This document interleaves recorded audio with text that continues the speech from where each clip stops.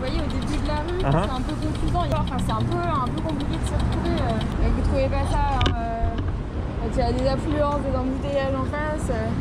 Donc, vous voyez, il y a un cycle là, un cycle là, un cycle là, c'est un peu. euh, Vous trouvez pas ça un peu, un peu confusant Bonjour tout le monde, aujourd'hui je vous propose une analyse de la rue de Vaugirard. Le but de cette vidéo est de voir si effectivement l'aménagement est confusant, manque de clarté ou a des problèmes de façon objective, parce que de toute façon c'est dans mon propre intérêt, si ça me met en danger, c'est pas intéressant de garder ce type d'infrastructure. Donc dans un premier temps, je vais vous proposer un passage qui va du sud vers le nord, ensuite je ferai une petite pause sur l'interview que j'ai eue avec TF1, et en fin de vidéo, je vous proposerai une petite partie du retour, parce que pour l'instant, toute la rue n'est pas accessible dans les deux sens.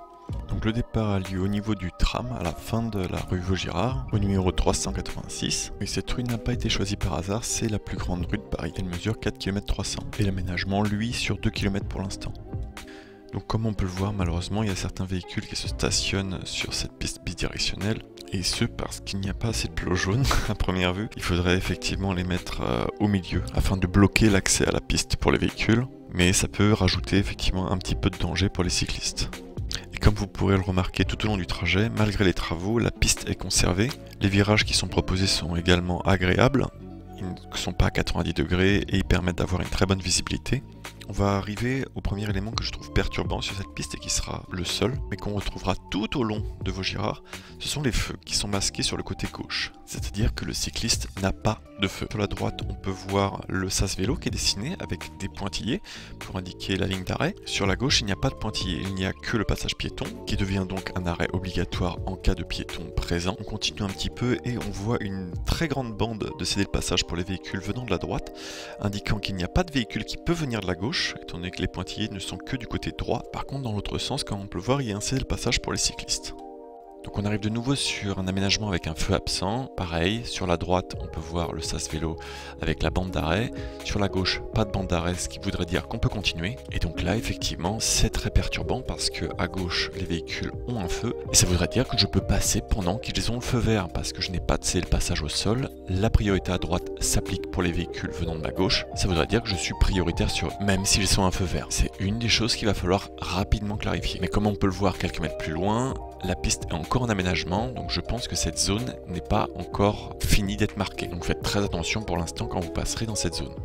Donc effectivement, on va continuer sur cette zone en travaux. Arrivé à la prochaine intersection, je vais de nouveau utiliser le sas vélo pour aller sur la gauche. Et là, on peut effectivement voir le feu qui est couvert. Donc cette zone est bien en cours d'aménagement et viendra suivre la logique de ce qu'il y avait derrière avec les feux, je pense. Alors on arrive sur les tweets qui parlent des stationnements en plein milieu de la chaussée avec les blocs de béton. Les blocs de béton sont en fait là pour sécuriser les places de parking. Je pense qu'ils seront remplacés par des jardinières, mais pour l'instant c'est du temporaire, donc pas le droit de réaliser de l'aménagement en dur. Il est aussi possible que ça évolue une fois les travaux seront terminés. Alors maintenant qu'on a passé la zone de travaux, on arrive sur un nouveau passage piéton. On peut voir d'ailleurs qu'il est très bien aménagé avec la petite rampe d'accès qui permet aux handicapés de le franchir sans problème. Il y a également la zone bus cyclable qui réapparaît sur le côté droit. Donc là on arrive de nouveau sur une zone que je jugerais dangereuse vu qu'elle n'est plus régie par un feu, alors que les véhicules à gauche, eux, le sont. Mais c'est vrai que le fait de réduire à une seule voie véhiculaire adoucit le trafic et donc peut-être que les feux ne seront plus utiles ici. On peut d'ailleurs voir qu'aucun feu ne régit la prochaine intersection, que le piéton peut traverser et qu'il y a des de passage sur le sol pour permettre aux véhicules de s'engager et sortir de la voie. On arrive sur un autre tweet qui indique que Vaugirard c'est Colanta, sous-entendant que la piste va de gauche à droite et n'est pas agréable. Or ici je trouve cette petite bifurcation très bienvenue étant donné que encore une fois il n'y a pas de feu pour les cycles mais qu'il y a un passage piéton ici et donc cette bifurcation permet de ralentir légèrement assez pour pouvoir ensuite s'arrêter pour les piétons. La visibilité ici est très bonne donc cette petite bifurcation ne gêne pas non plus. On continue donc sur cette piste, on peut voir une excellente continuation et dès qu'il y a des blocs de béton qui apparaissent, c'est pour séparer un stationnement. Je pense que dans le futur, il faudra effectivement rajouter des plots au milieu pour empêcher l'accès des véhicules comme le camion qui apparaît devant et qui peut être vraiment très dangereux comme on peut voir sur le cycliste qui est à gauche. Néanmoins, comme vous pouvez le voir, le camion de la poste est maintenant stationné sur la chaussée, ne dérangeant plus les cyclistes et mettant personne en danger, comme quoi le dialogue aide à corriger les problèmes. On retrouve d'ailleurs ce problème de véhicules qui empruntent la bidirectionnelle un peu plus loin parce que, encore une fois, il n'y a pas de plot qui empêche ces véhicules de s'engager dans cette piste. Dans le futur, un trafic plus important de cyclistes limitera ce type de danger, mais c'est vrai que la mise en place d'un poteau souple en plastique en plein milieu de la voie empêchera les véhicules de passer et évitera de créer des accidents avec les cyclistes, comme à Montreuil par exemple. Et quand un véhicule est engagé, n'essayez pas de le dépasser parce que vous risquez d'apparaître dans son angle mort, lui étant concentré sur ce qui se passe devant. On voit que la dame se met en danger. Il faut dans ce cas rester patient et si vous êtes en face du véhicule, l'aider à sortir sur la voie véhiculaire. Je pense que le potelet est quelque chose à mettre rapidement en place sur la piste parce qu'on voit que c'est un des problèmes majeurs que l'on rencontre plusieurs fois et l'un des plus dangereux. Changer l'infrastructure sera plus efficace que verbaliser parce qu'il y aura toujours des nouveaux utilisateurs chaque jour. On arrive à la fin de cette piste cyclable, on va maintenant passer au débrief de l'interview que j'ai eue avec TF1. Alors je ne parlerai pas de tout ce que j'ai déjà dit dans l'analyse de TF1, je vous laisse le lien vers la vidéo dans la description. Et en plein milieu de cette piste cyclable, une camionnette bloque le passage. C'est bon, je peux y aller? Donc là, le véhicule va couper complètement la visibilité. Ils ne se rendent pas compte des dangers qu'il crée. Donc comme vous avez pu le voir dans la vidéo Je passe aux 20h de TF1, j'étais en train d'expliquer comment éviter ce problème de stationnement avec la poste quand tout à coup... Surtout ça, c'est que ça va prendre un certain temps. Là on voit le cycliste qui est obligé d'ailleurs de l'éviter euh, en allant en fait sur la route. Tant qu'il n'y aura pas de trafic, les véhicules vont continuer à faire des infractions. C'est comme Rivoli au tout début en fait il y avait la, même problématique. Maintenant sur Rivoli, c'est quasiment impossible de faire une infraction. Excusez-moi. Oui. Vous euh, vers le passage du camion. Vous êtes en train de faire un sujet euh, Oui. Et vous avez filmé le camion de la poste Comment Vous êtes en, arrière-plan. Bah, mais les, les, plaques Non, mais même l'image en soi, il faut qu'elle soit effacée euh, immédiatement. Pourquoi? Bah Parce que vous avez aucun droit. Bah, on est sur la voie publique, si, on a les droits. Alors pour le droit à l'image, selon servicepublic.fr, je vous mets les sources dans la description, vous avez le droit de publier une vidéo qui a été prise dans l'espace public si aucune personne n'est individualisée, et dans la limite du droit de l'information. Comme le dit très bien la journaliste, un simple floutage suffit. Vous voulez que j'appelle mon responsable? Bah oui, s'il vous plaît, oui. Avec plaisir. ça, je pourrais discuter avec vous. C'est pour ça que je disais que quand on a une caméra à la télévision, ça fait bouger les choses. Parce qu'en quelques secondes, je vais me retrouver avec le responsable et pouvoir lui expliquer la problématique. Bonsoir. À qui ai-je affaire? À qui ai-je affaire? Je n'ai pas été présenté, désolé. Ah, ok, enchanté. Alors, euh, actuellement, votre euh, collègue est stationné sur euh, la piste bidirectionnelle, sur la rue rue, la, rue Vaugirard, tout à fait. Euh, moi, j'ai demandé à cette personne si c'était possible de se stationner sur la voie véhiculaire, étant donné qu'il y a deux voies véhiculaires, juste en face de la bidirectionnelle. Que ça créerait moins de danger pour la bidirectionnelle, étant donné que les cyclistes doivent se croiser dans un espace qui est très très étroit, dû au camion. Ça crée du risque, un vrai danger en fait. Ensuite, j'ai réexpliqué tout ce qui est droit à l'image au responsable. Il y avait un quiproquo avec euh, l'employé qui pensait qu'on allait garder une image de lui et euh, le fameux floutage, et le fait qu'on n'ait pas le droit de prendre un véhicule de la poste sur l'espace public, ce qui n'est pas vrai. Suite à ça, je lâche pas l'affaire sur le problème principal. Euh, alors attendez, est-ce que dans ce cas-là, pour le véhicule, est-ce qu'il y aura une solution qui sera mise en place ou pas spécialement? D'accord, parce que c'est vrai que moi en fait c'est vraiment pour le, le danger qui crée pour les cyclistes. J'ai aucun grief contre cette personne. Merci pour votre compréhension. Je vous repasse votre collègue. Bon. Bah, du coup, il était super aimable. Ah c'est dommage que j'ai pas pu enregistrer ce qu'il disait, mais, euh, mais, en gros, il est, tout à fait à l'écoute. Donc, euh, bon, ils vont certainement trouver une solution. Comme on peut le voir, le message est passé. Les véhicules sont maintenant stationnés sur la voie véhiculaire et plus sur la bidirectionnelle, créant ainsi moins de danger. Si toutes les discussions pouvaient se finir comme ça, ça serait vraiment idéal.